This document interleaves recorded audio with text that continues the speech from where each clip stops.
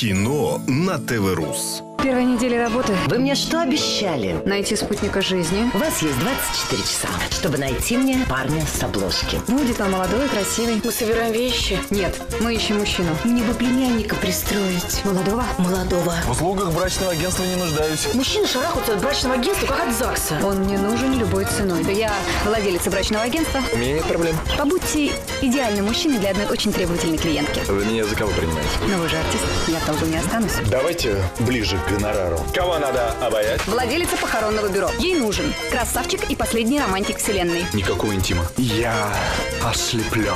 Теперь главное, чтобы он продержался как можно дольше. Ты сделал меня. Это было несложно. Не работа, а мечта. Максим Радугин, Евгения Серебренникова в фильме «Идеальный мужчина». В субботу на ТВ-Рус.